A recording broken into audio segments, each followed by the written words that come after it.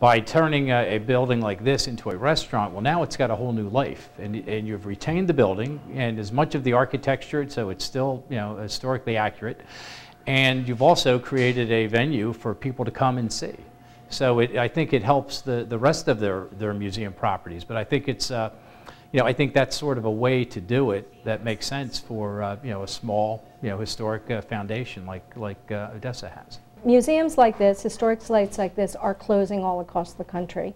I mean, this, it, these are very difficult economic times for museums. And museums are having to look for ways to reinvent themselves. For us, uh, you know, we had this property. It had, it was built um, for this use almost 200 years ago.